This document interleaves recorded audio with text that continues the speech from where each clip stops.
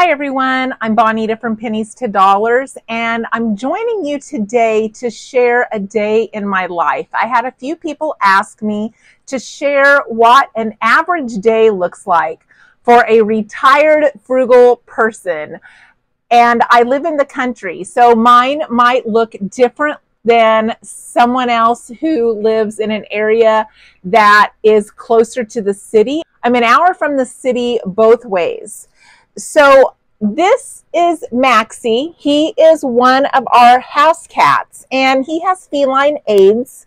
Um, he has been fixed so he cannot spread it, but he isn't going to get much bigger than that. He's our baby and his life expectancy is shortened and we adopted him and he is so precious. So I spend some of my day playing with our animals. We have animals both inside and out, and we have a donkey, as several of you know, and I've shown you in some of the videos. So I'm going to share with you what an average day looks like. And through that, I'm going to share with you some of my thought processes as I go through a retired frugal day of things that I think about that help save me money and things that I tweak along the way as I'm going through my day to fit into the lifestyle that I want. Now, right now, we have grandsons that are playing baseball, and we have two different ones playing, and we're at games four or five games a week. So we're really running to do that, which we enjoy very, very much. But all of those games are about an hour each way. So we have to add to our gas money for the summer to be able to accommodate that. And thankfully, we have saved, so we are able to do that. I always wanted to be one of those grandmothers that could go to my grandkids' games. So that's always been a goal of mine, and it's very important to me. So some of the things you'll see me do is in preparation to be able to go to those games in the evening. So let's get started.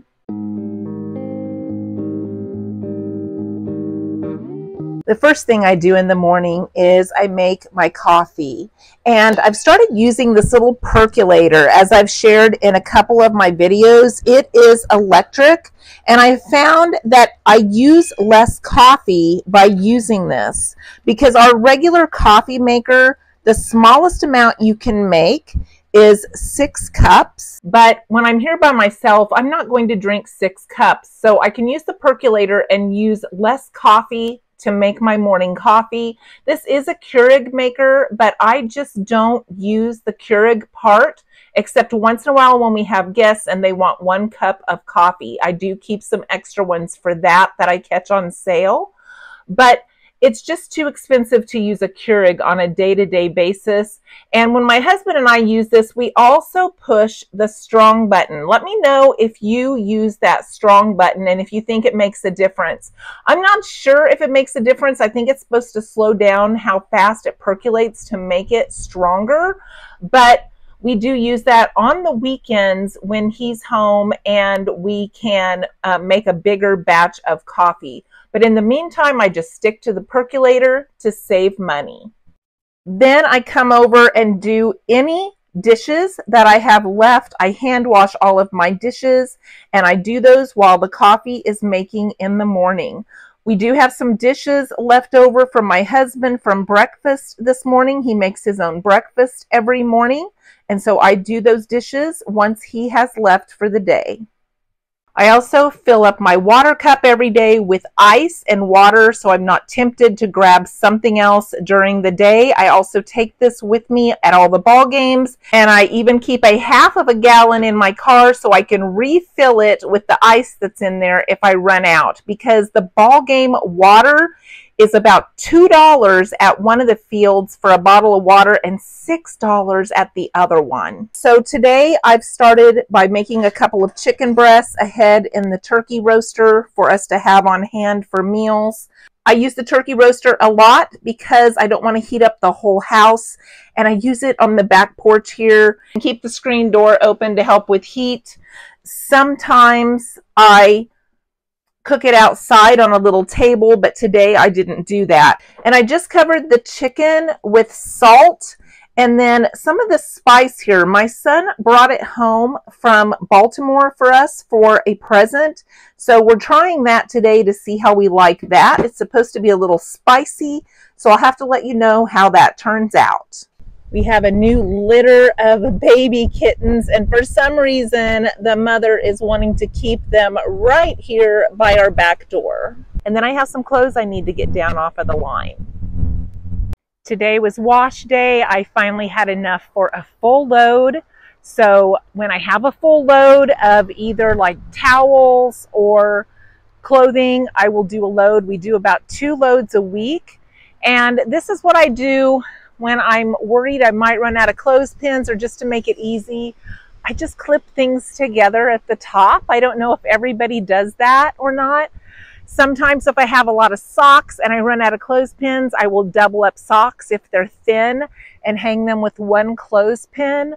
But that's one of the ways that I not only save clothespins, I save a little bit of time. I hang everything upside down so that the clothespin marks don't show. And I fold my husband's jeans seam to seam and hang them like this without any pins. And it comes out looking like they've been pretty much close to being pressed when I'm done. So they look really nice. So that's how I do those. One of the things that's frugal but also has turned into a really fun hobby for me is gardening. And I'm really enjoying watching everything grow every day. I come out every day and check on all of my plants. I usually water in the evenings, but since I'm going to a game tonight, I watered this morning. But here is my lettuce that's doing really well. All kinds of little ones shooting up there. My potatoes are coming up nicely. We have some little green peppers that have started. Here's my tomato plants. I also have a couple of tomato plants here and a green pepper. I know I need to weed.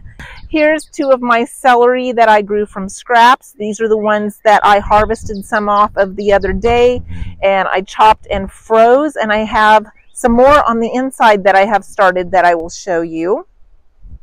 Here's my green onions that I bought. Look how huge those are. And look how many of these green sprouts are just from each one. And these are so firm and crispy. And as we need onions, which I don't need right now, but as we need them, I will pull them, chop them, and freeze them. And that will keep us from buying onions all summer long. I have some eggplants growing here. Here's my cucumbers in bloom. They are so pretty. The flowers are so pretty. And I tried to make a little trellis here out of an old baby bed rail that I had that was broken. Uh, I, I, just put it out yesterday, so I'm having trouble getting it to connect. It already was wanting to connect to everything it possibly could, including itself. I have three more cucumbers here and I have a zucchini plant here and if you can see in there I have zucchinis growing already. My daughter's already picked five zucchini this year so I guess I'm going a little bit slow and we both planted at the same time. I have more green peppers coming up here, another tomato plant, I have carrots, and so far, this is my only cabbage coming up. I've replanted some of these three times and I'm just not having a ton of luck. So I have a sandbox here with sand from the river that we hauled in years ago. The kids don't really use the sandbox anymore when they come. They play with the animals, they play with the swing set, they play on the trampoline. So I decided to see if I could get something to grow in this. These are sweet potatoes right here in the middle. I grew those from my sweet potatoes that I got from the store that had some sprouts starting on them. I put them in water, let them take roots, and I planted them. And in my research, sweet potatoes will grow in sandy dirt. So um, it said sandy, well-drained dirt. So I'm trying my hand at sweet potatoes for the first time this year. These other little ones that you see are more potatoes that I've planted. I had some more that had sprouts and I save all of my sprouts. I save all of my seeds from anything that we eat and I just replant it and if it grows, heck yeah. And if it doesn't, well, I didn't spend any money doing it. I have some more celery growing here and I have some little plants that I started on the inside, but I never do well, even though they tell you to start things like seeds on the inside. Mine always grow up really spindly and just fall over. So I never do very well trying to start seeds. I had coffee for breakfast this morning, which is my normal routine. And for lunch, I just made myself a cheese and sweet onion quesadilla. Many times I just make super easy stuff like this that's very inexpensive for lunch. And it's about two o'clock right now and I am not even hungry yet, but I'm going to go ahead and eat this. So that's what I'm having today. One of those people who like to fold my clothes as I take them off of the line and that way they're already done and all I have to do is just hang the ones that need hung when I get back inside the house. And then I don't want to forget my clothespin bag. So I've never been one that's much for schedules at home. I know some people like a lot of schedules in their life, like certain days they do laundry, certain days they go shopping. And I think it comes from being an administrator for a nursing home most of my life. There was always cleaning schedules. There was always schedules for everything. And I wanted my home to feel more relaxed than that. I didn't want to be held to a certain day to do something. So I wash clothes when I get that full load, when I need to. It's not on a certain day.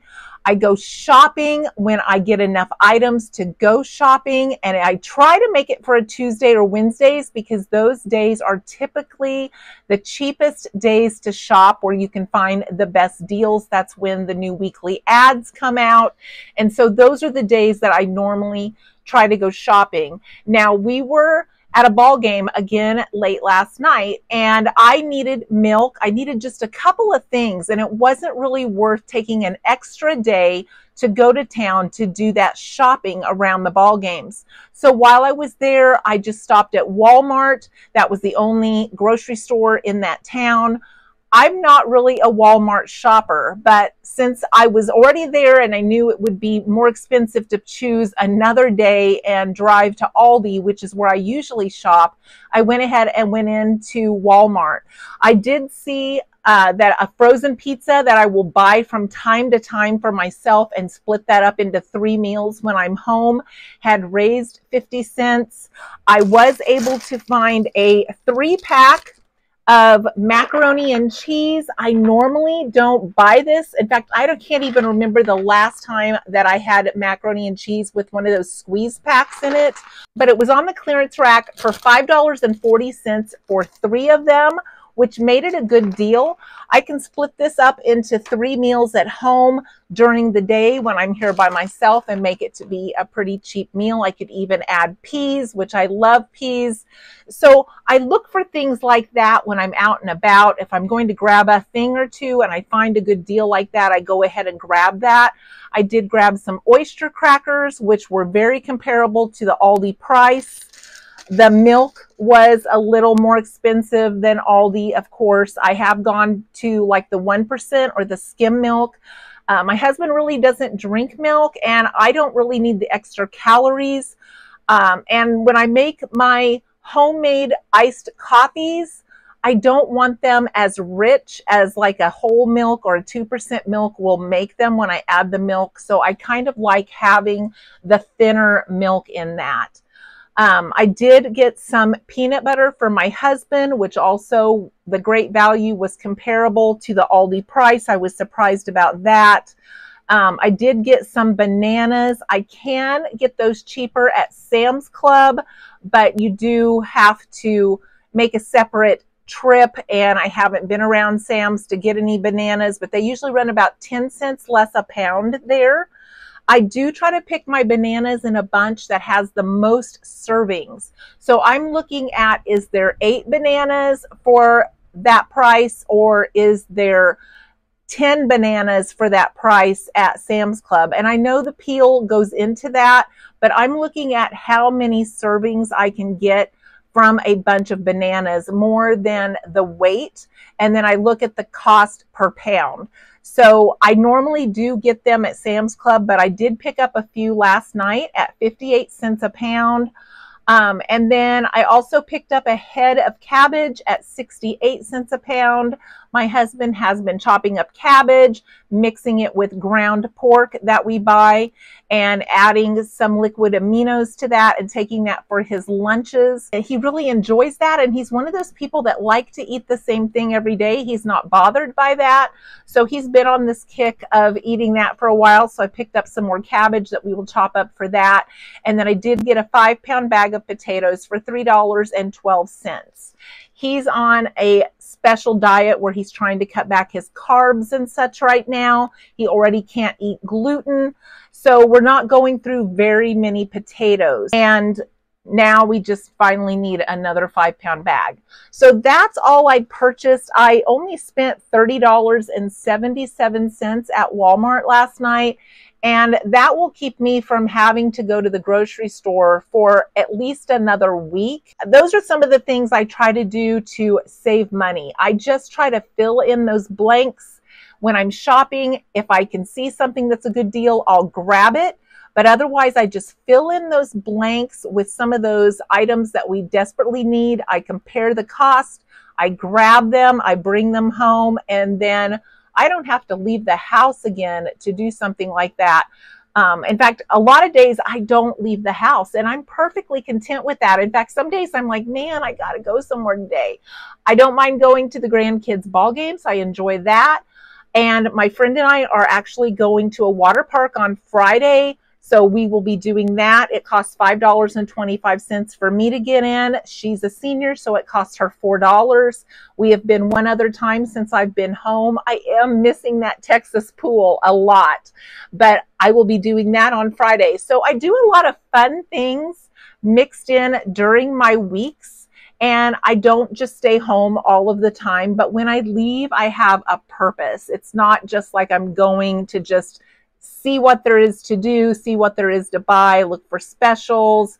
I, I don't I don't enjoy doing things like that. So I have a purpose when I leave and then I do that purpose and I come home.